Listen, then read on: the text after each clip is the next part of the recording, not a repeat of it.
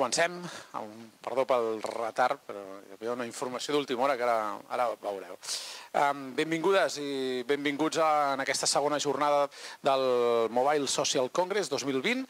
Espero que estigueu bé uh, i preparats per una sèrie de xerrades interessants avui. Saludem també a la gent que ens està veient en streaming uh, a través de la pàgina web del Mobile Social Congress i el canal uh, de YouTube de CETEM.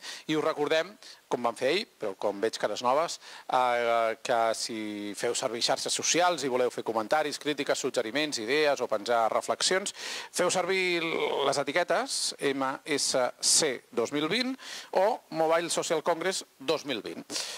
Explicar-vos, abans de començar, que avui eh, s'ha celebrat i acabat ja l'Ideator, això ha sigut un taller eh, que s'ha fet durant tot el mes de febrer amb uns 70 participants eh, i la idea eh, o el repte que tenien era eh, bàsicament com podien donar una segona vida a components de mòbils obsolets per evitar que es converteixin en residus eh, de xalles.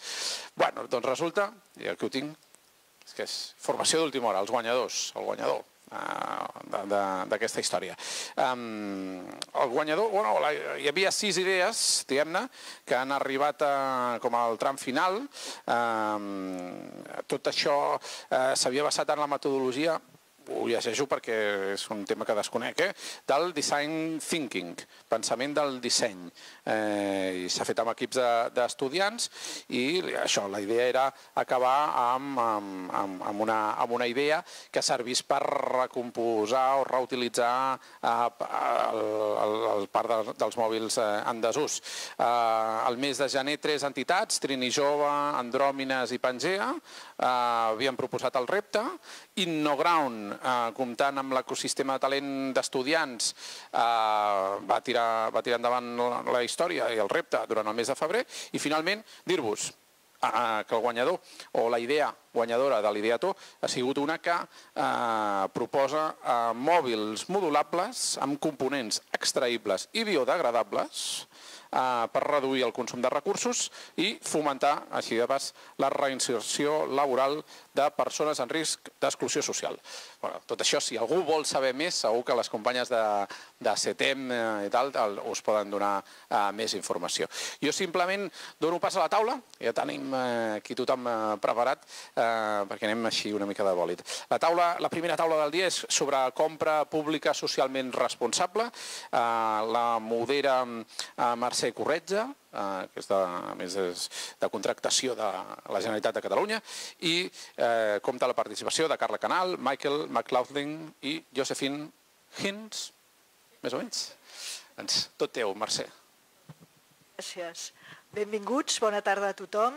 Esperem que, que us interessi el que us explicarem aquesta tarda. Escoltarem de primera mà doncs, experiències interessants en l'àmbit de la compra pública responsable, socialment responsable. Jo faré una presentació molt breu de 5 minuts per a aquells que vosaltres que no estigueu familiaritzats amb el concepte de compra pública socialment responsable, què significa i com s'està desenvolupant actualment i després ja passaré la paraula als diferents ponents i eh, després obrirem un debat amb vosaltres, els que vulgueu fer doncs, alguna pregunta, i doncs, que us interessi el tema doncs, perquè realment el, el tema donaria molt de sí. Què és la compra pública socialment responsable? Normalment, quan utilitzem aquest concepte, ens referim a aquella compra pública de les diferents administracions públiques, ajuntaments, generalitats, diputacions, qualsevol administració pública, que a part de comprar i tenir en compte, per tant, eh, l'eficiència, el preu, eh, com a valor important en la compra, incorpora un altre tipus de valors, que normalment en diem objectius secundaris, valors socials, valors ambientals, innovació, eh, o facilitar, per exemple, l'accés de la petita i mitjana empresa a la compra pública. És a dir, hi ha tota una sèrie d'objectius secundaris, que en diem eh, tècnicament, que els incorporem en aquesta compra pública. I, per tant, diríem, el que fem és comprar, però no només tenint en compte el preu, sinó doncs, incorporant un valor social, un valor ambiental. Per exemple, de vegades doncs, determinats serveis el que volem és contractar amb entitats que es dediquen a la integració de persones amb discapacitat. Per tant, incorporem unes clàusules eh, doncs, per facilitar que aquelles entitats que promocionen la integració de persones amb discapacitat tinguin més facilitats per contractar amb l'administració pública que altres entitats. Ho valorem en el procés de l'oferta i per tant ho incorporem en el contracte. Però el que és molt important quan incorporem aquestes clàusules, i això suposo que ho tractarem avui, és després controlar que es compleixin. Eh? És a dir, perquè de vegades demanem molt, eh? demanem doncs, que les empreses siguin eh, sostenibles, que tinguin uns requisits ambientals doncs, molt superiors als legalment exigits, posem clàusules socials, clàusules d'igualtat de gènere, per exemple, clàusules per protegir les condicions laborals dels treballadors, moltes vegades. Eh? Mm, ho dic perquè sembla molt obvi, però no és així. Eh, no és obligatori aplicar el salari d'acord amb el conveni sectorial aplicable. Amb la reforma laboral això no és obligatori. Llavors, una clàusula que posem molt sovint als contractes és que les empreses eh, paguin als seus treballadors d'acord amb el conveni sectorial aplicable. Eh? Perquè això no sempre és així, moltes vegades és per sota de conveni. Per tant, a través de la compra pública, a través de la contractació pública, intentem doncs, millorar, incorporar valor social o ambiental o d'innovació, eh, propoure la innovació en determinats sectors, la recerca, eh, introduïm clàusules de recerca, doncs, per intentar que aquella compra pública tingui doncs, també aquest valor afegit. No? Des de diferents administracions, jo des de la Generalitat, com a directora general de contractació pública, evidentment aquest és un objectiu molt important i això comporta, és a dir, no només en els contractes incorporar això, sinó, com també saben molts dels ponents i suposo que ho explicaran, comporta moltes activitats de formació, de fer models, de fer instruccions, de canviar les fórmules dels contractes, és a dir, té tots uns efectes en els procediments de contractació per aconseguir aquesta finalitat. Eh? No és simplement que dius, bueno, doncs poso la clàusula i ja està, eh? sinó que requereix també doncs, tot unes mesures d'implementació, de control i després tenir indica indicadors de dir, bé, i això s'ha complert o no s'ha complert. No? Per exemple, doncs jo a nivell de Generalitat puc dir, d'acord amb els últims informes que tenim sobre clàusules socials a la Generalitat, que un 63% dels contractes que signa la Generalitat i el seu sector públic incorporen clàusules socials, per exemple. No? Aquestes són les dades, que, les últimes que tenim, són del 2018. Les clàusules més incorporades, per exemple, són les d'igualtat de gènere eh, perquè doncs, deuen ser més fàcils d'incorporar o pel motiu que sigui, però són les més incorporades. I les segones més incorporades són les que tendeixen a respectar les condicions laborals dels treballadors, totes les vinculades a qüestions salarials, millores salarials, eh, aplicació de convenis sectorials, etc. Eh? Aquestes són les més, les més utilitzades. En tercer lloc, hi vindria la integració de persones amb discapacitat. Val? És a dir, bueno, doncs, es tracta també doncs, de, de saber eh, cap on anem, quins objectius tenim, si els complim o no, eh, i per tant tot això doncs, requereix una sèrie d'activitats. Jo no vull extendre molt, perquè crec que és, el que és important és escoltar els nostres ponents, després ja tindrem ocasió pel debat, i primer us els presentaré molt breument. Primer tenim la Carla Canal, que ens coneixem també de, de fa temps. La Carla Canal és eh, politòloga, màster en gestió de polítiques públiques i cooperació internacional. Ella doncs, porta anys treballant en temes relacionats amb el desenvolupament sostenible i les polítiques pel desenvolupament sostenible en l'àmbit de la Generalitat de Catalunya, però actualment està a l'Ajuntament de Barcelona, eh, propulsant, impulsant la compra pública socialment responsable. Després, en segon lloc, tenim el Michael McLaughlin, que és eh, una persona també amb un llarg historial d'experiència, 18 anys d'experiència, eh, que es diuen aviat, en l'àmbit de l'adquisició en el sector públic, eh, les funcions d'adquisició, compra pública, i ha estat molts anys treballant en diferents àmbits, en l'adquisició de material electrònic, automoció, en el sector de l'educació, eh, en diferents àmbits. Actualment està vinculat a la APUC, que és un consorci de les universitats d'Escòcia, eh, d'Escòcia, abans ho ha estat explicant, i doncs, ens explicarà una mica tota la seva tasca. Aquesta entitat APUC és un dels fundadors d'Electronic Watch i, per tant, doncs, serà molt interessant també escoltar la seva, la seva aportació. I, finalment, tenim la Josephine Heinz, eh, que també doncs hem, abans eh, ens hem pogut saludar, que ella treballa a l'equip d'Economia Sostenible i Compres de l'ICLEI. L'ICLEI és una entitat europea eh, que promou també la compra pública sostenible en l'àmbit europeu, està vinculada a diferents xarxes d'àmbit europeu i també doncs, hem tingut ocasió de, de conèixer-nos perquè eh, l'ICLEI dona uns premis, els Procura Plus Awards, eh, que doncs, eh, la Generalitat de Catalunya va obtenir un d'aquests premis, el de compra pública sostenible, eh, l'any 2019, per tant, diríem, doncs, també la, la coneixia, bueno, la seva entitat ens coneixem doncs, de fa temps.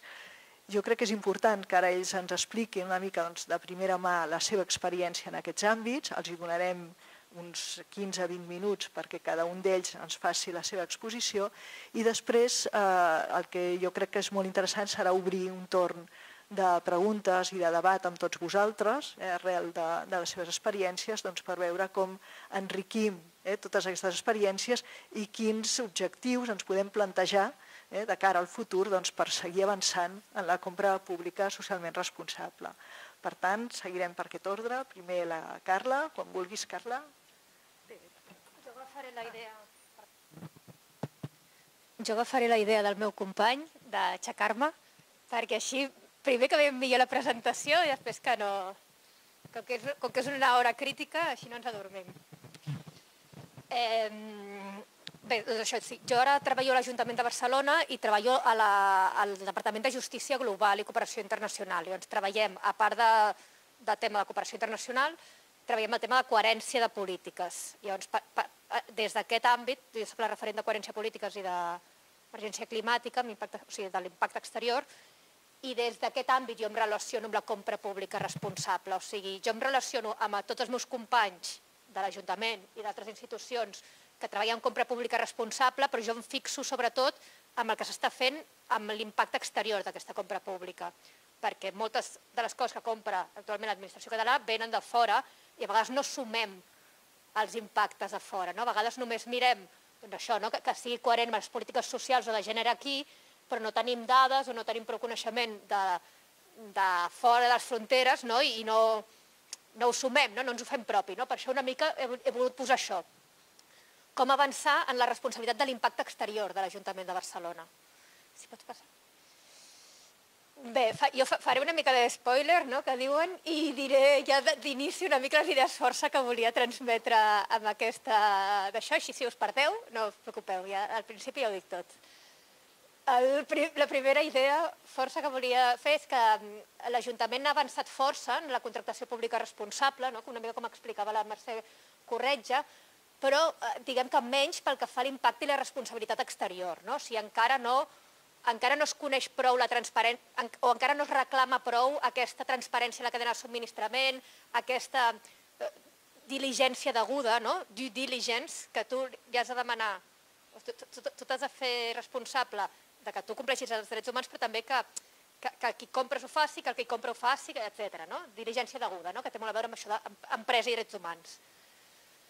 També volia, volia dir, molt breument, eh, faré una referència que la nova llei de contractació, que aquí a Espanya està en vigor des del 2018, una mica més tard que el resta d'Europa, eh, ha obert noves oportunitats i obligacions i amb això també tenim la sort d'estar treballant tant en xarxa amb Europa com a dintre de Catalunya, amb moltes administracions i on tenim alguns grups de treball perquè hi ha coses que són noves, hi ha coses que encara s'estan tastant, que encara, no, que encara no hi ha sentència, que encara no hi ha jurisprudència, no? que encara estem una mica innovant. Uh, en tercer lloc, volia dir que, sí, que, clar, que estem parlant una mica com, com, com la Mercè, que ella s'ocupa de tot el que compra la Generalitat, o sigui, tant salut com electrònica, com qualsevol cosa. O sigui, hem de vetllar per la responsabilitat sobre tots els productes i serveis i sobre tota la cadena, no? des de la mina fins l'abocador. Això vol dir que tot el que comprem ens hem de fer responsables del tot, o sigui, des de, des de les coses que han sigut necessàries per fer-ho, com després on ho llancem. No? I aquí també, el següent panel o l'altre, eh, tindreu els companys d'e-reuse que expliquen molt bé eh, la feina eh, que fan eh, en aquest últim part de la cadena. No? Eh, aquestes són les dues últimes idees que volia donar. Eh, volia dir que realment sembla una tasca immensa, no?, posar-nos al dia. I dic posar-nos al dia perquè, a veure, això ja hauria d'estar fet, no? O sigui, la compra pública eh, ja hauria de ser responsable, no li hauríem de posar l'adjectiu de responsable. No? Se suposa que si l'Estat, eh, l'administració pública és responsable de, fer, de garantir els drets humans, doncs s'hauria responsabilitzat de tot i ja ho hauria d'estar fent tot bé. El fet és que no és així i llavors quan, clar, quan comences a escarbar, al principi se't fiquen els pèls de punta, no? perquè si dius, ostres, podem, amb la, podem començar amb l'electrònica o podem començar amb el tèxtil, amb, amb, amb, bueno, amb tot, amb alimentació, amb assegurances, amb, amb fiscalitat, amb obra pública, amb, amb tot. O sigui, realment... Llavors, eh, al principi ens espantem, però una de les idees que crec que surt més d'aquest tipus de jornades és que si treballem en xarxa, eh, entre les administracions, amb ONGs, amb empreses, etc, es pot aconseguir un gran impacte. I mm, també, dic per, també dic això perquè eh, avui, avui ens centrem en tecnologia. Jo només posaré dos exemples de tecnologia. Però penseu que quan, que, per exemple, que, que si s'avança en un dels minerals d'un mòbil, molts cops en aquestes mines o, o a les foneries eh, hi ha altres minerals i altres mòbils, on si tu um, avances a la transparència o a la cadena o en, o en respecte als drets laborals de les persones que estan treballant en aquest mineral, resulta que també estan treballant en un altre mineral, que potser és un altre producte. Llavors, eh, o sigui, que, que un mineral t'ajuda a avançar amb el mineral del costat, com si diguéssim, i també volia dir que, que un dret, un dret humà t'ajuda a avançar amb el dret humà del costat. Per exemple, al, a Anglaterra, eh, no sé si sabeu que hi ha la Modern Slavery Act, que és una llei que es va, que es va fer per dir, perquè les empreses, però sobretot l'administració pública, es responsabilitzés de que no hi havia, o sigui, s'assegurés que no hi havia cap mena de treball esclau en tota la cadena. No? I això vol dir que si tu amb un mòbil t'assegures que no hi ha treball esclau en tota la cadena, ni cap a baix ni cap a dalt, al mateix temps també t'estàs ocupant de que no hi hagi greus, o sigui, altres vulneracions de drets humans, no? o ambientals, o socials, o de gènere, o que sigui, perquè el fet de revisar un dret eh, fa que, fa que, bueno, que avancis amb la transparència i que avancis amb això. No? Llavors, això també ho volia dir perquè eh, CETEM i, bueno, i, i totes les organitzacions que estan aquí està molt bé perquè mm, van treballant amb, amb diferents organitzacions que cada una està especialitzada en el seu àmbit, però que totes juntes ens, ens ajudem a avançar amb aquesta transparència. No? Jo ahir em vaig quedar molt parada, sincerament, amb la, la mina de Bolívia, quan els hi preguntaven als treballadors eh, on anaven els seus materials i no tenien ni la informació d'on es venia aquell material que a ells els hi costava tant de treure. Llavors, clar, o sigui, estaven encara més incapacitats de, de denunciar, bueno, que és un dret dels treballadors, no? la transparència també de, de què es fa qui t'ho compra, qui no t'ho compra, si t'ho deixaran de comprar, etc. Bueno, per últim, és el mateix, això, que treballar en xarxa, que si s'avança la transferència d'un, s'avança en l'altre. Vale, I ara faig, faig com un pas enrere, una mica com, a, com, com comentava ja la, la companya de Generalitat, perquè diu, eh, perquè, bueno, molt breu, molt breu, aquí sí que aniré ràpid, perquè si no em passaré a 20 minuts.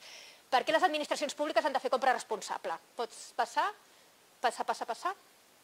bueno, això per, per obligació, per començar, no? per estar titular d'obligacions, per d'audiències aguda, per coherència polítiques. Coherència polítiques vol dir que no té sentit amb una política voler avançar amb el medi ambient i amb l'altra carregar-te'l. I això passa, no? Doncs amb la compra pública has, has d'intentar que ajudi a totes les polítiques, a la de gènere, a la, a la d'ocupació, però també a la de justícia global, no? O sigui, amb, amb altres països. Jo, jo sempre em centro en, en la part exterior, eh? però, però el que val per exterior val per dintre, i al revés. Eh, I també bueno, perquè, perquè l'administració ha de ser un referent, ha de ser un exemple i ha de ser un motor de canvi. Si, si tenim el 20%, eh, pots passar la... Si tenim el 20% del PIB, eh, doncs, com a mínim això ja pot ser una palanca per canviar l'altre. A mi també m'agrada molt que tant l'Ajuntament de Barcelona bueno, la gent, i com CETEM fa campanyes adreçades tant als, als compradors privats, no? o sigui, la roba neta, etc, com als compradors públics. Els compradors públics, més que, més que ningú, més que mai, són els primers que haurien de donar exemple i una mica aplanar el, el camí per eh, tots els altres. Bueno, i això, perquè és una eina per canviar el món, no? I en teoria l'administració pública està aquí per canviar el món, no? Podem passar? Un altre cop? Eh, una, una, una breu referència també a l'agenda 2030, no? que també és una agenda global, que en, que en teoria no només els, tots els estats, sinó també eh, els altres actors s'han compromès, I a l'ODS 12.7 diu clarament promoure pràctiques de contractació pública que siguin sostenibles de conformitat amb les polítiques i prioritats nacionals. O sigui, se suposa, a part que hi haurien d'haver plans de compra pública. bueno, ara cada cop per llei també hi ha plans, o sigui, pots passar. Bueno, L'Ajuntament de Barcelona també, això sí que ho he, això sí que ho he actualitzat, eh, també té, o sigui, a part de tenir el, eh, el pla anual de compra pública, la, bueno, altres coses que us, que us explicaré, eh, aquest any ha fet eh, la declaració d'emergència climàtica i això també té implicacions eh, amb el que és la compra, no? O sigui, la responsabilitat amb, amb temes ambientals. Bueno, ambiental i, i social està tot lligat, eh? però, però si encara més, eh, la urgència i l'Ajuntament de Barcelona s'ha posat unes fites encara més eh, estrictes aquest any que les que ja tenia del Pla Clima o de les que estava fent amb el PAM o de les que també està fent amb els ODS. O sigui, tenim com tres planificacions, però totes són coherents, l'únic que aquesta ens ha avançat una mica els, els temes. Vale. Això, consum i producció responsables, emergència climàtica, de creixement. O sigui, en el fons també hem de fer de creixement, hem de fer economia circular i jo també vull dir que és emergència climàtica, però també és emergència de drets humans. O sigui, són les dues alhora. D'acord. Bueno, les bones notícies és que la nova, llei de, la nova llei de contractació europea venia amb aquest canvi de paradigma de dir eh, no és només comprar, sinó que és comprar com un instrument més de, de, de fer política. Pots passar? I que, bueno, una mica el mateix. I que t'obliga a posar criteris socials, ambientals, a que sigui. Pots passar. Vale, com s'està fent des de l'Ajuntament de Barcelona? Eh, bueno, eh, l'Ajuntament es va avançar una mica, va fer el decret de contractació pública sostenible una mica abans de, de que es publiqués la llei i, el fet, i doncs, aquí a juny hi ha les guies de contractació pública social, eh, ambiental, tal, eh, innovació i el cert és que ara les volem eh, actualitzar perquè en aquell moment eren, estaven més enllà de lo necessari, però creiem que ara també hem entès més com funciona la compra pública i les farem d'una altra manera. Pots passar. Bueno, per dir-vos que hi ha, hi ha molts departaments de l'Ajuntament de Barcelona que estan implicats en aquesta urgència. No? Ecologia Urbana té un programa que es diu Ajuntament Més Sostenible, que és el que més s'ocupa de, de vigilar que, la que tot el que es compra sigui d'això. També Economia Social, Consum i Barcelona Activa també s'ocupa, sobretot també de la part més social que ha comentat la Mercè. I Justícia Global i Cooperació Internacional, que és on estem nosaltres, i, i bueno, que tots, tots anem amb aquest mateix eh, objectiu, no? que, que cada un posa l'accent o l'expertesa allà on sap més. I nosaltres tenim també moltes informacions de terreny, no? o ens arriben més denúncies de terreny, de vulneracions de drets humans, que el que arriben a, a vegades a ecologia urbana. I només un breu d'emergència climàtica, l'exemple de disposició final, després vindrà i reuse, que és... Que, ah, no, no sé què ho he comentat. Va, pots passar. Vale. Només això, explicar breument que l'Ajuntament de Barcelona es va, es va afiliar a Electronics Watch al febrer del 2016, oficialment, que des del principi això va voler eh, ser un membre actiu i, i col·laborar, perquè bueno, Electronics Watch no ho han explicat no, encara, és, és, és aquesta xarxa que, que inclou ONGs de terreny, eh, entitats públiques i algunes privades d'Europa per tal de fer aquesta, aquesta transparència, aquest seguiment continu. No? Eh, pots passar. Llavors, a part d'estar de, Electronics Watch, que, que estem contents també que cada cop més, més, amb més administracions podem, podem intercanviar i, i, i seguir avançant, perquè això és un procés, o sigui, no és et fas Electronics Watch i se soluciona tot, sinó que tothom s'ha de remengar perquè les coses continuïn avançant. Eh, a més a més ens van proposar fa ja dos anys si, si volíem també ser pilot amb el tema de mineria, perquè Electronics Watch s'ocupa de fer el seguiment exhaustiu dels drets laborals en les fàbriques on, on es fa l'assemblatge de les peces, o sigui, les fàbriques de muntatge dels ordenadors, bueno, del, però, però no arriba fins, les, fins la mina. Llavors es va fer uh, aquest pilot per intentar avançar més amb la transparència cap a la mina. Uh, ja està. Mm, en aquest projecte això hi participen companys que estan aquí, o sigui que també els hi podreu preguntar a ells. Bueno, com a administracions públiques és Londres, Estocolm, Harlem, Apuc, el meu company, sí, l'Ajuntament. I, i, les, i de, les ONGs també, que n'hi ha moltes presents, Catapa, bueno, sí, People on Planet, etc. Uh, bueno, L'objectiu és aquest, no? és, és, continuar amb la, amb la millora de les condicions laborals i drets humans en tota la cadena de subministrament fins la mina. Pots passar. Pots passar. Això, això són exemples de violacions de drets socials i ambientals de la mineria a la fabricació, però jo crec que ahir ja en vam parlar i que avui no, no ten, tampoc tenim temps d'entrar-hi, però està clar que, que, que, que tot, tot això és responsabilitat nostra. No? O sigui, quan compres un mòbil estàs comprant tot això o estàs provocant tot això. També volia dir que l'emergència climàtica, això que ens hauríem de sumar la contaminació que es produeix als altres països que nosaltres comprem. O sigui, no, no hem de fer que la Índia o que la Xina assumi la contaminació de producció, sinó que l'hauríem de, de sumar a, quan comprem i entre, a, entre la frontera. I això encara no es fa. I, i en el càlcul d'emergència climàtica tampoc es fa. O sigui que el decreixement hauria de ser molt més heavy. Pots passar. Bueno, la, la... això és molt específic, crec que els meus companys que treballen a l'administració pública sí que els hi pot ser més interès, però, però potser altre públic no. Però, però una mica el que ha comentat també la Mercè Corretja, que, que hi ha moltes fases, no? O sigui, s'ha de fer una previsió de futures licitacions, s'han de fer consultes al mercat, s'ha de fer estudis de mercat amb responsabilitat social. O sigui, nosaltres estem fent o, i estem copiant d'altres companys um, anàlisis de riscos de drets humans a la cadena de subministrament per tal de ja tenir-ho previst a, a, en el moment del disseny. Sí, com, a, com, com ahir parlàvem de que en el disseny ja has de pensar coses, doncs en el disseny fins i tot has de pensar quan ho compraràs i quan vols que t'ho entreguin, perquè no és el mateix demanar-ho perquè t'ho entreguin ràpid i que hagi de venir amb avió que demanar-ho que pugui tardar molt i que pugui venir amb tren. No? Eh, bueno, es necessita tot tipus de suport tècnic i legal, o sigui, de, de, des, de, des de gent que sàpiga molt bé dret administratiu o, o dret de contractació fins a gent que sàpiga molt la, la, la situació real d'altres països. O sigui, també s'ha de tenir molt en compte que amb, amb, el, amb les coses que, que volem fer aquí per prendre responsabilitat, els impactes que tindran a fora, perquè també tu, amb, amb bona voluntat, pots tenir impactes dolents a fora. Llavors, també per això cal aquesta imbricació amb ONGs administracions públiques locals, el que sigui, eh? però vull dir, amb, amb el terreny, per no fer un cop més les normes des d'aquí, intentant solucionar una cosa de fora, o sigui, ha d'haver-hi sempre una comunicació i un treball en xarxa per no cagar-la.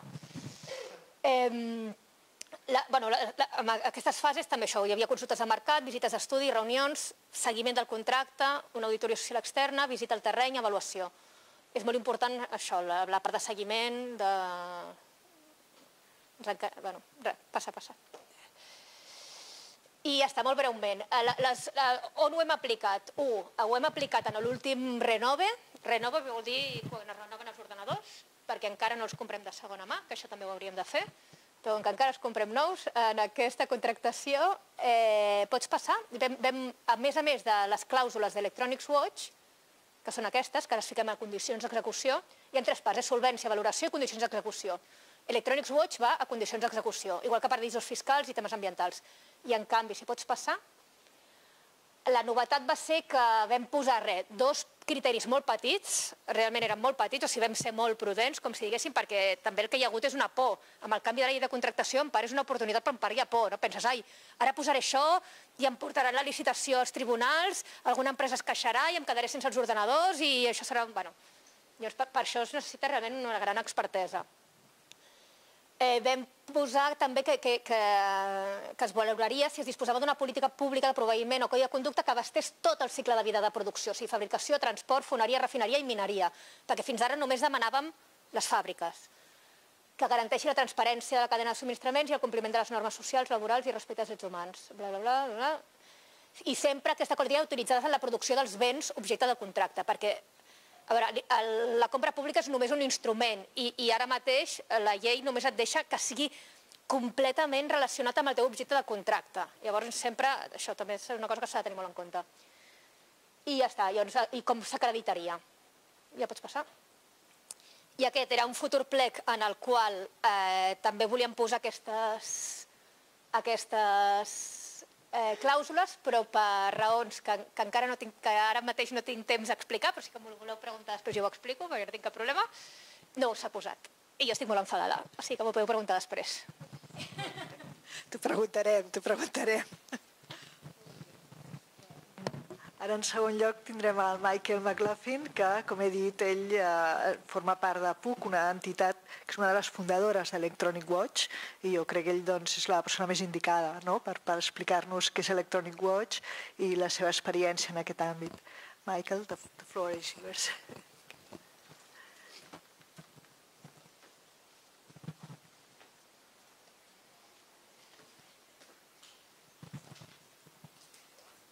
Good afternoon.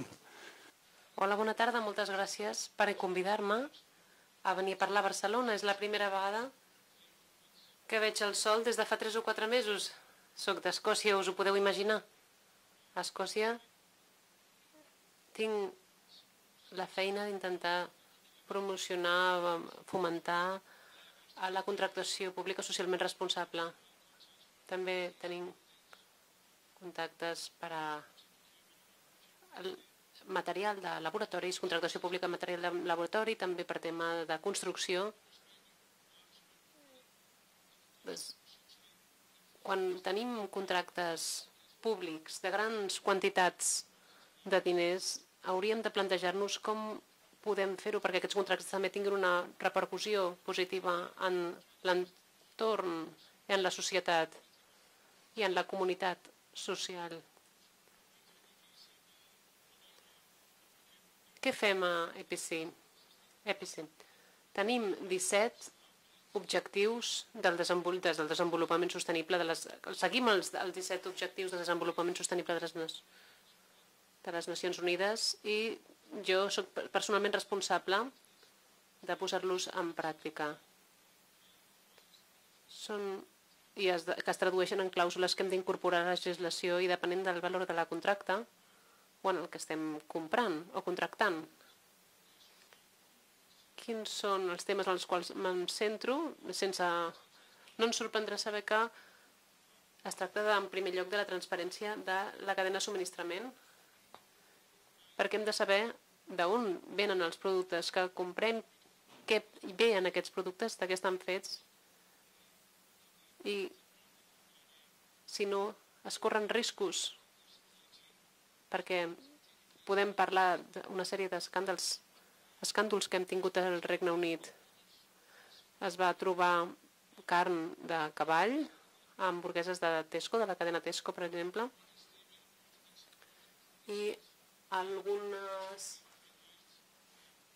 al·legacions de condicions d'esclavitud de nens, de la, treball forçat de nens i també amb una cadena de maquillatge es va veure envoltat d'un escàndol Aldi, Lidl i Marks and Spencer.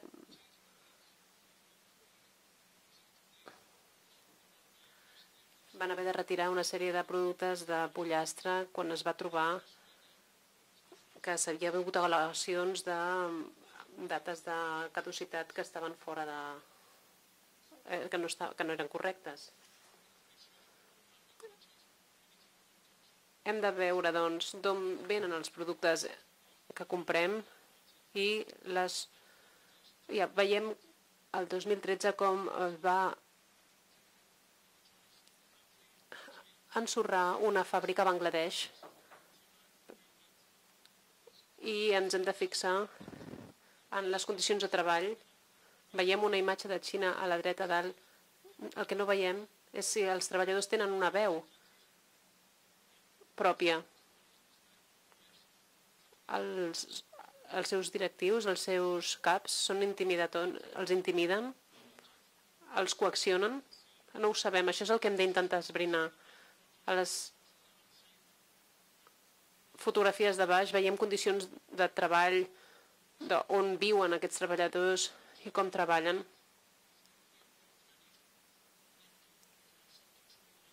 Hem de poder tenir una sèrie de, de mecanismes per poder arribar a tenir un control sobre aquestes condicions de treball en les empreses on es fan aquests productes que comprem. En alguns casos els treballadors han de treballar només amb un sol dia de festa al mes, la qual cosa és fatal pel seu, per la seva salut mental. Entre altres coses, aquest accés d'hores extres de vegades no es coneix prou perquè de vegades són els mateixos treballadors que volen fer hores extres per guanyar més diners, però està clar que això té un impacte nefast en el seu benestar i en la seva salut. En 2010 veiem que Subsestronic, una empresa de productes electrònics, va haver d'instal·lar xarxes a fora de les seves façanes perquè els seus treballadors van començar a suïcidar-se, es llançaven per les finestres. També ens hem de plantejar els temes ambientals, els residus electrònics, estem i els plàstics. Day and Peak van començar una empresa que es diu Ocean Plastics, que recicla plàstics que recuperen dels oceans, dels mars. I, i aquest material es pot reciclar, se'n pot reciclar d'aquest material fins a un 90% i se'n pot, es pot utilitzar per fabricar electrodomèstics. En això treballem i també treballem en, per reduir les emissions de CO2. Així doncs volem reduir-les i millorar aquestes condicions ambientals.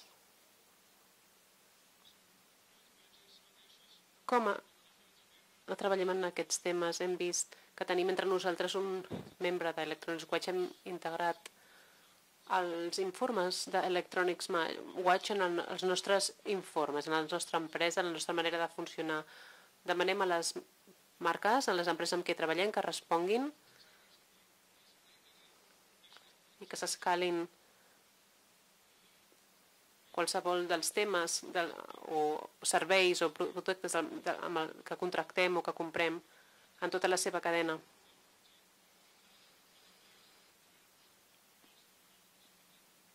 Hem treballat amb Barcelona, Suècia, Holanda,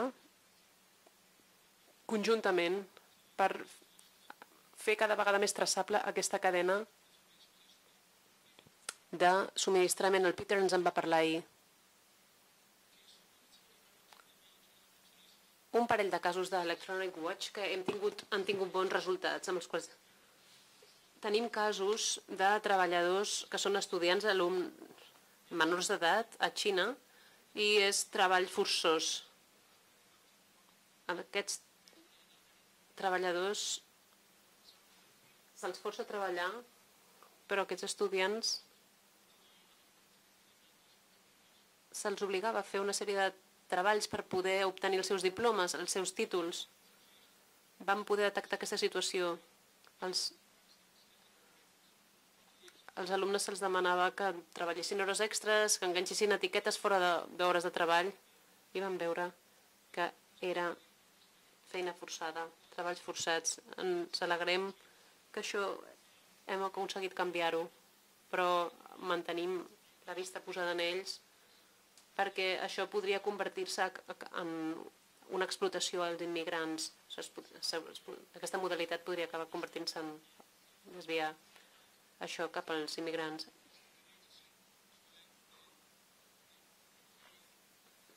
Un altre cas.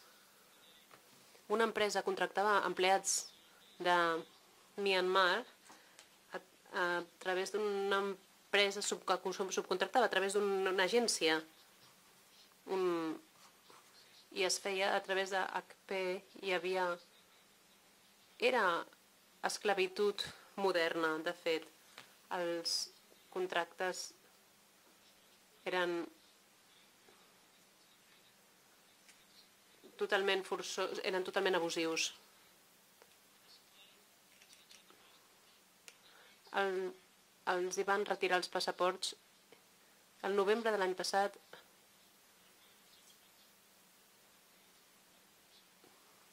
vam voler anar a veure els treballadors i vam reclamar, vam demandar que se'ls compensés a tots aquests treballadors per aquest tractament que havien rebut i vam demanar un compromís per part de l'empresa perquè això no es repetís. Bé, doncs aquest tipus de coses són els que, les que fem amb els nostres informes, conjuntament amb els informes d'Electronics Watch. Intentem aconseguir donar noves oportunitats de contractació pública d'aquesta manera. També amb les, els equips d'audiovisuals intentem fer-ho. els proveïdors locals treballen amb diferents marques i aquestes marques de la indústria electrònica també haurien d'incloure reciclatge, productes que respecten el medi ambient, el, mirar si reciclen el producte que, que fabriquen, fixar-nos en si els treballadors es respecten els seus drets. I ens assegurem que hi ha una codi de conducta en aquesta empresa. Si tenen empleats graduats o becaris, les pràctiques a les universitats Gunstav, com funciona això, ha estat molt útil. I això resulta, acaba resultant en beneficis per la comunitat. També nosaltres el que fem és utilitzar alguns debats que hem tingut en el projecte en el qual hem estat treballant per fer un mapeig de la cadena de subministrament del primer, la primera paula i la segona, dels primers i segons, tercers i quarts nivells. De vegades són les grans multinacionals les que estan involucrades en aquests nivells. Per tant, volem anar incrementant aquest coneixement que tenim sobre els processos. Hem creat també una gestió de la cadena de subministrament on els proveïdors ens han de donar aquesta informació que els requerim, que els demanem. El govern escocès té contract, fa contractació pública dins dels àrees de zones de salut, d'educació, de moltes àrees diferents. I pel que fa a l'electrònica, tenim compres de diferents dispositius electrònics, portàtils, mòbils, pantalles. Vam fer que fos obligatori en els nostres contractes de compra pública on els productes haguessin de venir amb una sèrie de condicions i ho vam firmar amb Hewlett Packard. Vam firmar aquest contracte. I era, es va convertir en un requisit també la sostenibilitat es va convertir en una cosa crucial. El que busquem és que l'economia sigui cada vegada més circular i tenir opcions de leasing com a alternativa a la compra per promoure el reciclatge. Com deia abans, els productes són reciclatges en un 90%, però ens agradaria acostar-nos al 100%. Per tant, vam intentar que, hi hagués, que el nostre proveïdor ens pogués donar més opcions també de comprar eh, productes de segona mà, etc. Vam també fer una nova normativa perquè les empreses col·laborin amb ONGs i Electronic Watch ens acompanya en aquest procés. També part del nostre projecte Make ICT Fair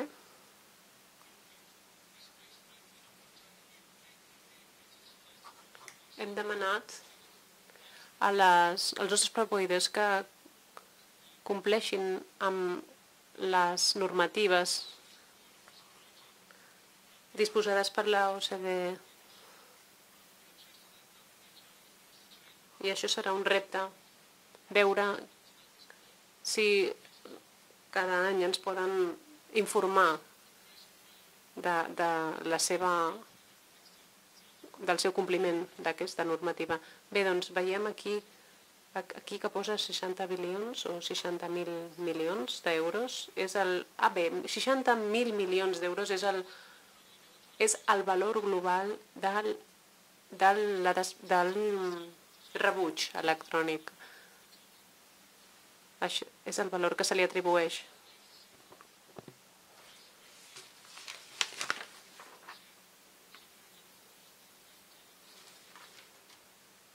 Les emissions de CO2 estem parlant de 150 1.000 tones de material que es cada any. Abans les rentadures duraven 30 anys, ara ja no és així. And what we have, though, for electronics, we have an, uh, a supply chain that's very linear. So you can order products at a cheap price, and you can, the components are made in the Far East, but you, can, but you receive your... Tenim components i podem obtenir ràpidament el producte.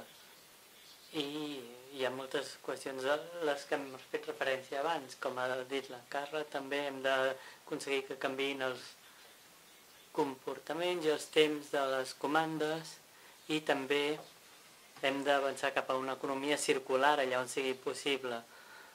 Hem de trobar una manera de ampliar el cicle de vida dels productes a Escòcia i segurament això ens permetrà també crear llocs de treball i mitigar eh, i també incloure o fomentar la contractació de persones en risc d'exclusió social, aquelles persones que més necessiten oportunitats de treball. Escòcia també va declarar l'emergència climàtica el maig del 2019, va ser el primer país en fer-ho, hi va haver moltes protestes estudiantils i com hem canviat?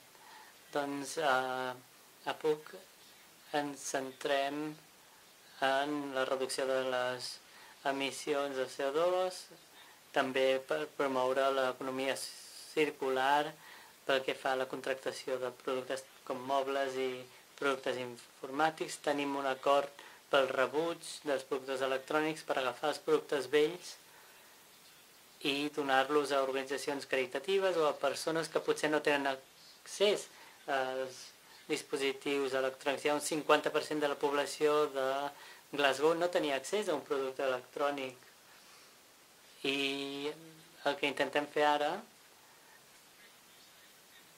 és treballar amb els directors d'informàtica a les universitats per crear un model que inclogui el reciclatge i el, la recuperació dels productes electrònics. Crec que hi ha un bon model a Barcelona que acabo de descobrir avui, segurament ens en diran més més endavant. Aquí veiem les emissions de CO2. L'eficiència energètica és un objectiu que tenim des de fa molt temps i veiem que a Europa gran part de les emissions de CO2 venen de la manufactura i del transport. I és aquest l'àmbit concret que volem reduir i voldria concloure amb un estudi de cas que hem estat, en el que hem estat treballant amb una institució que volia actualitzar els 400 ordenadors que tenien als campus. Vam agafar un pla pilot de 30 persones de treballadors que es queixaven del de, funcionament dels ordenadors i vam intentar mirar quin era el pressupost que tenien per substituir els productes i els vam poder actualitzar ampliant les memòries de RAM i de gigas i el, ara funciona molt millor. I el temps de resposta va passar de dos minuts i 9 minuts el temps que trigaven en entrar a la sessió a poder, poder iniciar una sessió en 28 segons. I l'objectiu era que ja no va haver de gastar tants diners, quasi gairebé 400 lliures en un ordenador, van comprar amb 67 lliures de comprens nous, es van poder estalviar 332 lliures en cada ordenador i ara als treballadors es va poder aconseguir un estalvi de 132.000 lliures. I també volem crear una empresa social que pugui treballar en aquesta reutilització i aquest és el meu objectiu. I m'encantarà saber també què s'està fent a Barcelona i espero poder tenir l'oportunitat de sentir-ho més endavant. Gràcies. And now, Josephine, the floor is yours.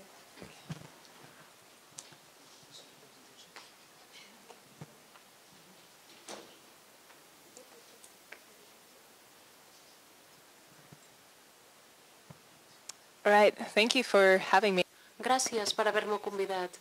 Jo treballo per ICLEI, ajudant els governs per la sostenibilitat. El que fem és agafar tota aquesta feina fantàstica que fan els nost les ciutats membres, els nostres socis, i intentem connectar-les per facilitar el coneixement i l'aprenentatge els uns als altres i per poder fer conèixer les bones pràctiques que es fan a l'Europa i al món. També som part, som part del Megacity Fair Project i intentem ajudar, ajudar a augmentar la responsabilitat social en la contractació de productes TIC. Se m'ha demanat però, que parli una mica sobre el tema de la igualtat de gènere i el que pot fer la contractació pública en la indústria de TIC dels TICs.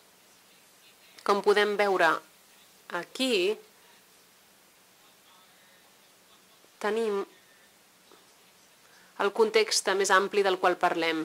Bàsicament, els governs gasten molts diners en productes cada any i ho sabem que, sabem que és el cas de Barcelona, també, però l'índex de dones, i no només en les TIC, sinó en altres sectors, en, de, del mercat és un 1%. El, la contractació pública com a mercat és un mercat enorme. Si ens ho imaginem com una imatge, en una sala amb 99 o 100 proveïdors, només un d'ells seria una dona. Per tant, està clar que això és un tema que ha de canviar. I si ens fixem en els treballadors que no són propietaris, sinó treballadors, encara tenen barreres culturals que fan que les dones es trobin amb problemes per poder accedir als mateixos drets d'accés, als mateixos drets de, pel que fa a condicions laborals que tenen els seus col·legues masculins. Naturalment, també hi ha altres temes més amplis que han de canviar, però per, per això estem aquí, per parlar-ne. Per altra banda, la contractació pública té la responsabilitat, pensem, de pensar en la vulnerabilitat de les treballadores, les dones, especialment. I podem entrar en més detall en el sector de les TICs. Si mirem les empreses de mineria i la fabricació, ens podem centrar en aquestes dues àrees. La mineria de petita escala i vaig trobar aquestes dates del 2015. Entre 10 i 15% de les dones del, dels miners són dones. Tenim falt, manca de dates. Aquestes són les que he trobat, però no són suficient. Tenim una idea molt aproximada de quantes dones treballen a les mines, però no ho sabem del cert. I les dades canvien molt, depenent de quines regions estan les mines. M'he trobat aquesta cita que penso que es pot aplicar aquí. Hi havia una dona que parlava de les, del repte que sentia a l'hora de treballar les mines.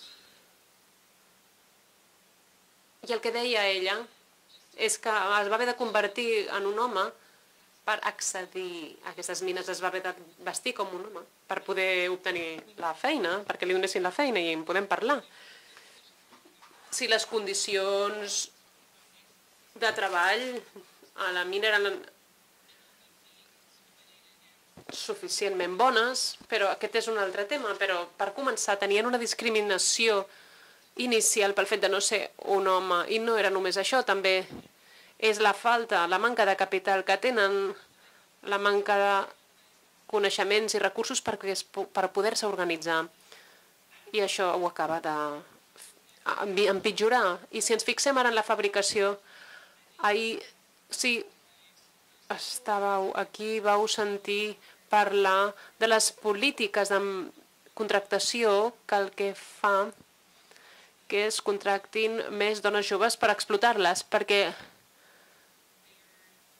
són el tipus, el, perfil, de, el perfil preferit, el, per, el perfil més prioritzat, i no són són, són, són més fàcilment explotables perquè no estan tan formades i perquè són més joves i perquè són dones. I el tema de les dades també és un problema aquí. No tenim accés a aquestes dades, no tenim realment dades concloents, depèn dels països. Les condicions depenen dels països, canvien, i és difícil descriure aquest buit. Hi ha una estimació que podem tenir per Tailanda en una... Mm, en, hi ha un sex, aproximadament un 16% de diferència en els sous que es paguen als homes i a les dones, a les dones un 16% menys. Hi ha altres factors, però hem de mirar el context i quina és la base sobre la qual podem fer aquestes reclamacions, podem fer aquestes denúncies, i no sé si la contractació pública es pot dedicar a investigar això i a lluitar contra això, però en podem parlar. També veiem que el mercat dels productes TICs a les ciutats, als governs locals, a les universitats i altres tipus d'autoritats públiques estan gastant més de 50.000 milions d'euros en productes electrònics en TICs cada any i, per tant, es tracten d'unes xifres molt elevades i hauríem aquí de fixar-nos també en una contractació que tingui una sensibilitat pel que fa al gènere en tota la cadena de subministrament. Ara m'agradaria parlar una miqueta dels punts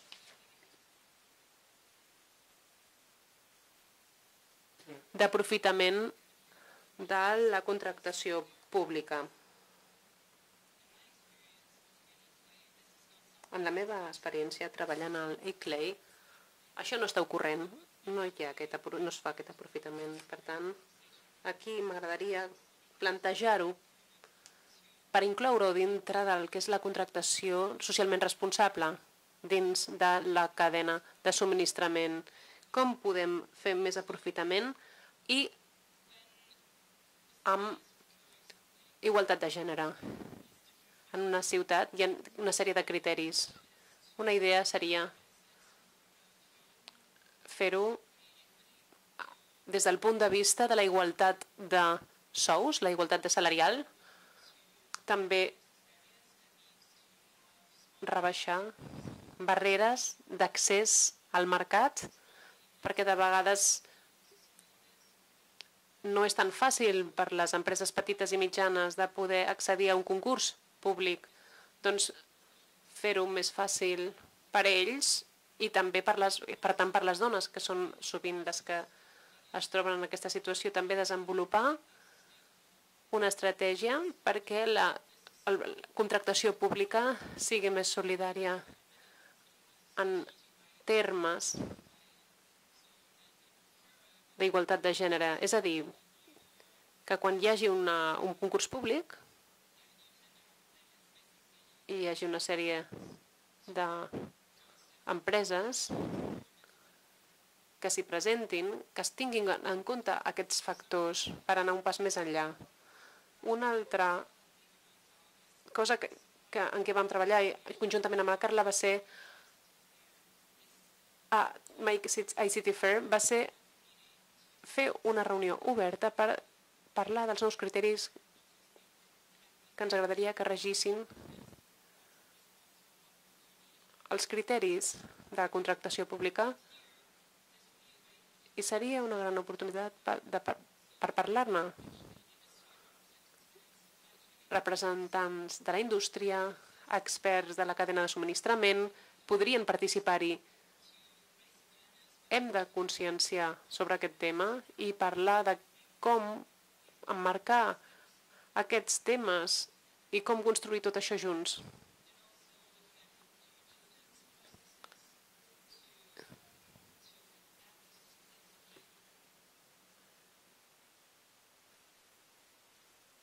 I la diligència deguda que s'hauria de fer servir també per fer un mapeig d'aquesta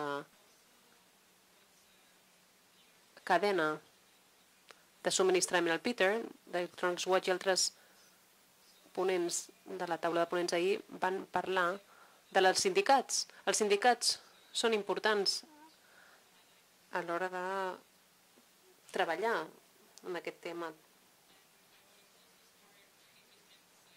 I m'agradaria subratllar que no hem d'esperar a que això ocorri, ho hem de fer nosaltres. Necessitem contractadors valents. I estem orgulloses, orgullosos de veure que tenim molts membres de la nostra associació que són multiplicadors d'aquestes pràctiques a les administracions de les nostres ciutats que estan animats per fer un canvi i que estan animant els altres a fer-lo. Per tant, em sento molt agraïda de treballar amb vosaltres en tot això.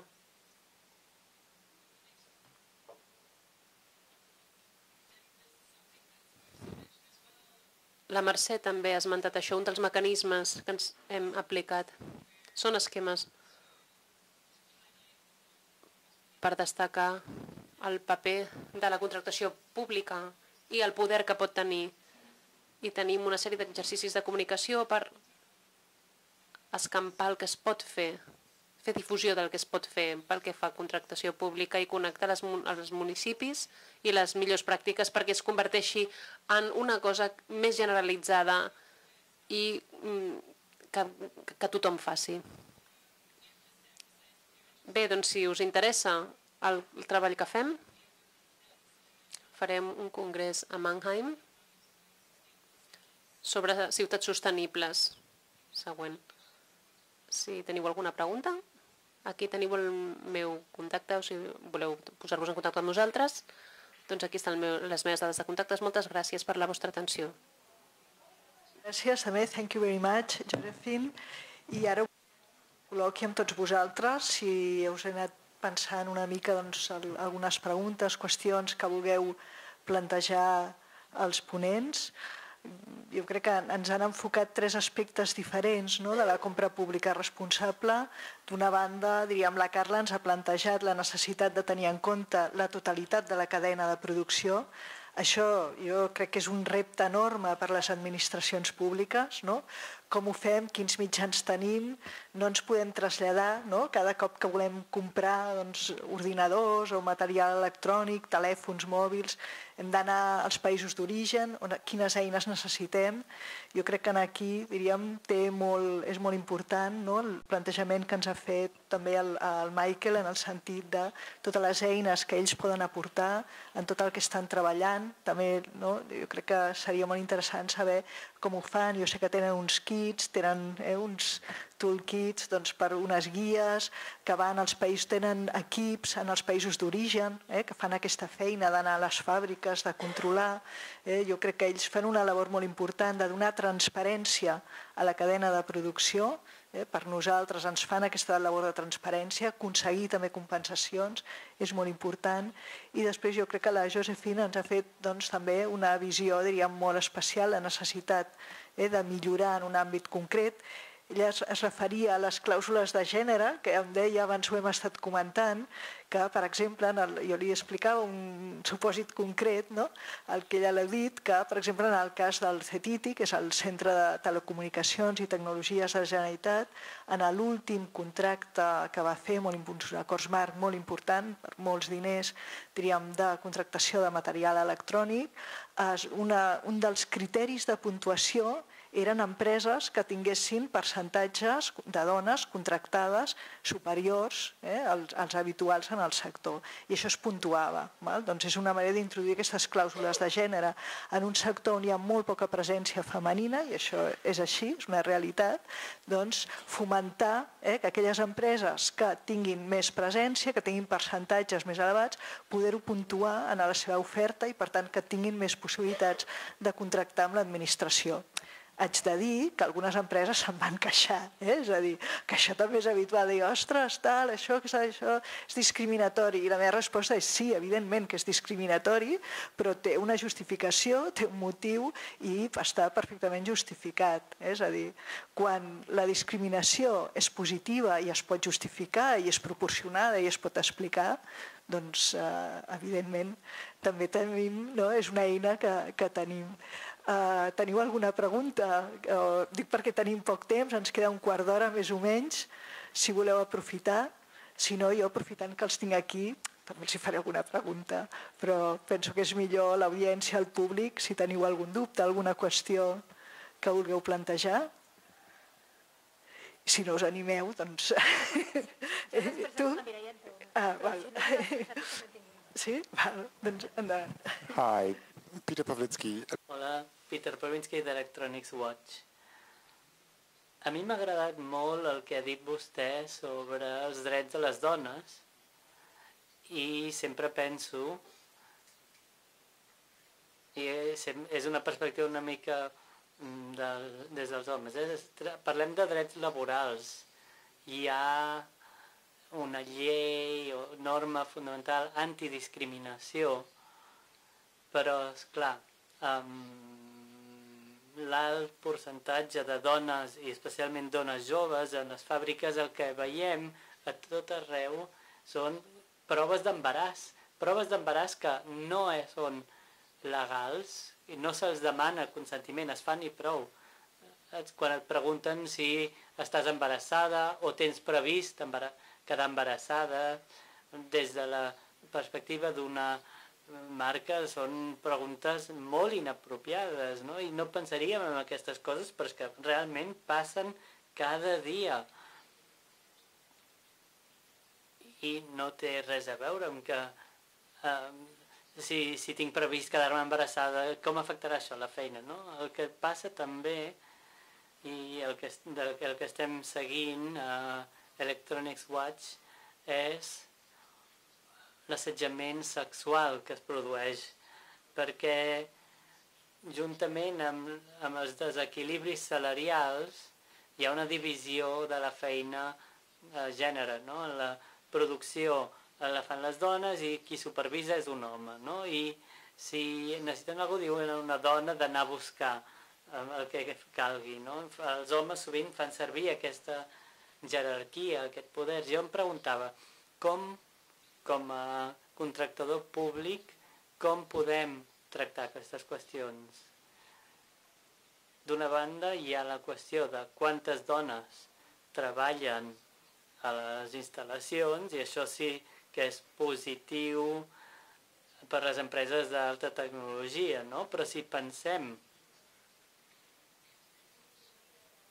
en les coses que mencionava la Kathleen de Stockholm, hem de filar molt prim a l'hora de fer les preguntes i potser faria, tindria sentit començar a plantejar preguntes ja durant el concurs, preguntar si tenen alguna mena de política contra aquestes pràctiques i què tenen a nivell de la marca mm, per, per, sobre, per exemple, els, les proves d'embaràs. Sempre et diran que tenen una política, però el que és important és que aquella política s'apliqui és important que, els, que les administracions facin preguntes detallades i entrin al detall, perquè això pot marcar una diferència per les dones a les fàbriques. En quant als sindicats, jo d'acord soc sindicalista, però sempre em plantegen problemes perquè al sindicat sempre hi ha un, una predominància dels homes, els sindicats estan molt masculinitzats i m'encantaria veure que els sindicats s'intervinguessin més, però no sé si és possible. Calen, fal, falten canvis, és cert, però els sindicats tendeixen a ser molt conservadors.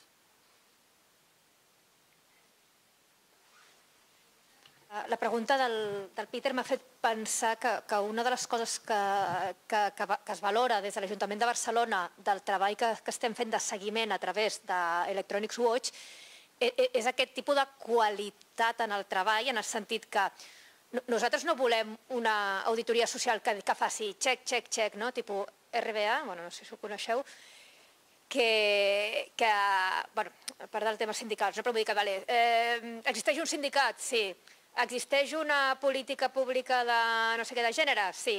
Existeix tal? Existeixen els procediments? Sí, vale.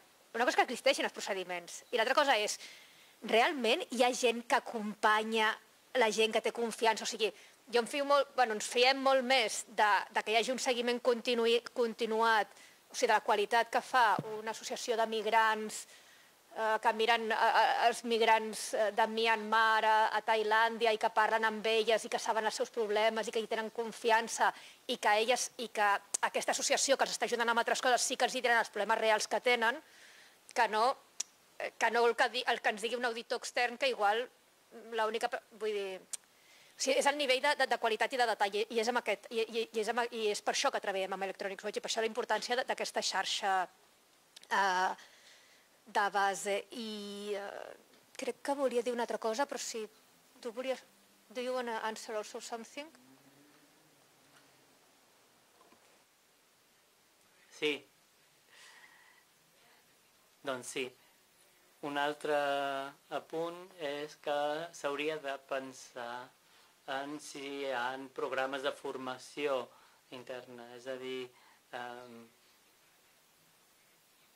pensar en aquesta jerarquia de poder i veure com es podria animar que hi haguessin més dones en càrrecs de poder i, mirar d'incidir en aquest aspecte. I m'agradaria saber si això seria que com en el que es fixa en, en, no tant en les últimes etapes de la cadena de subministrament, sinó veure també quantes dones hi ha en càrrecs de poder, aspectes com aquests.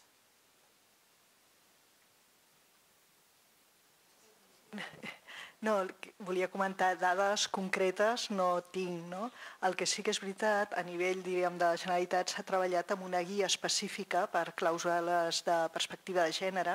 Hi ha una guia específica que té en compte doncs, el llenguatge sexista, eh, el tema de l'assetjament també està previst, és a dir, hi ha tota una sèrie de clàusules que evidentment estan eh, redactades conjuntament, no només per la Direcció General de Contractació Pública, sinó amb l'Institut Català de les Dones, ha tingut una col·laboració molt important i a més ells ofereixen assessorament, és a dir, en casos concrets doncs, assessoren i recomanen doncs, eh, si es produeix algun cas, doncs fan una mica aquest acompanyament.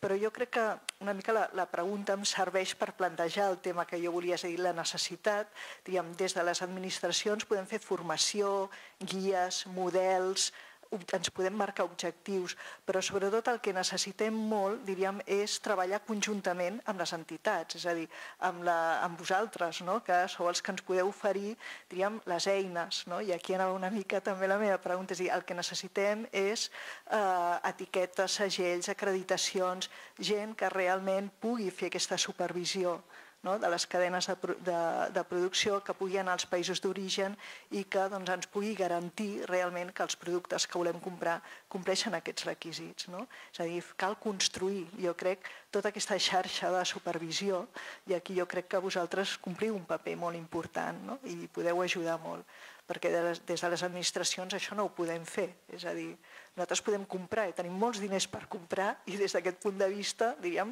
el volum econòmic és important i per tant això serveix no? perquè les empreses és una mica la pastanaga que els hi poses a davant. No? Si compleixes, doncs podràs contractar amb l'administració i és una oportunitat de negoci, però has de complir una sèrie de coses. I aquí jo crec que és on entra en joc una mica aquesta, aquesta col·laboració amb totes les entitats no? que podeu oferir doncs, això, doncs, segells, etiquetes, que ens podeu dir doncs, en l'àmbit de l'economia circular doncs, podem desenvolupar un model, una eina per garantir que realment, diríem, eh, eh, aquests productes que vosaltres comprareu doncs, compleixen uns requisits. No? I això, diríem, crec que és el que hem de construir conjuntament. No? Uh, I aquesta era una mica la meva pregunta, és a dir, ens podeu ajudar a fer això? Quines eines teniu? És a dir, hem de teixir conjuntament no? aquesta, aquesta xarxa per poder arribar a garantir que realment tot el que comprem compleix els criteris eh, necessaris. Jo volia posar un últim exemple del tema de, de, del gènere i de la participació dels treballadors, o sigui, d'aquesta qualitat en els drets. No? O sigui, la, la qualitat de la llibertat sindical o de la participació del treballador a l'empresa és, és molt més no? que un simple procediment que igual no, Sí, sí, hi ha participació, hi ha una bústia i després cremem els papers o, o despedim a la persona que... Sinó, en concret, llavors em, em, va, em va semblar molt eh, interessant un cas que van explicar a la, a la Congrés Electronics Watch que explicaven que quan hi havia hagut, en una empresa que, que sí que hi havia participació dels treballadors, o sigui, quan s'escoltaven, perquè són els que saben realment els problemes que hi ha i tal, hi, hi havia un tema d'un tipus de, de, to, de tòxic que, que igual no afectava a, o sigui, amb les degudes proteccions no afectava a les persones, però sí, sí si tenies un, un, per molt poc que estiguessis embarassada, podia tenir gravíssimes conseqüències pel fetus. No? Llavors, bueno, ells, també, ells també el que deien és que mm, que la fàbrica, clar, o sigui, a vegades pot entrar algú, pot passar, o sigui, fins i tot, o sigui, com, com assegurar que aquest tòxic mai arribaria a ningú que estigués a, a prop d'estar embarassada. Doncs deien que, que les persones que, que sapiguessin que estan embarassades, que, que, que ells voluntàriament, eh, deien que, que, que es posarien un mono d'un color especial, un groc fluorescent, per exemple, i doncs ells sabrien perfectament que si, que si entra un mono groc fluorescent, eh, o sigui, que, que, que, que no s'ha de deixar entrar, o, o sigui, era un tema per dir, és, eh, per suposat, clar, això ja, això ja pressuposa que, uh, que, que pots dir que estàs embarassada i que no tens por que et despedeixin. Dos, que, però vull dir que, que pot ser que hi hagi una persona embarassada que pugui continuar treballant a la fàbrica, l'únic és que no pot passar mai per cap lloc que hi hagi aquest tipus de tòxic. No? Llavors, ells també trobaven solucions a això, però clar, això ja és bueno, això que diem de, de, de la qualitat en els drets, no? I, i, de la, i de la real o no participació i de la real escolta de, dels treballadors.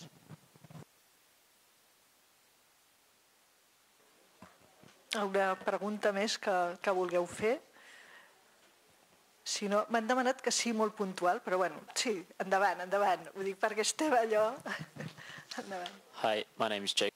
Hola, em dic Jake Clark, treballo en People and Planet, que és una organització de joves i tenim un interès en el sector de l'educació. Tinc una pregunta pel Michael. M'ha encantat saber de tota la feina que està fent Apple i els membres com els consorcis de les universitats, però hi ha consorcis que encara, universitaris que encara no són membres d'Electronics Watch. Hi ha el consorci de les universitats del nord-est d'Anglaterra i